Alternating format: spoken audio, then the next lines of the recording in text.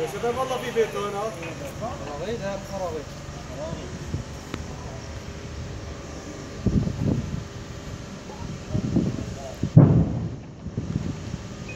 حرام سوا الاب وريهم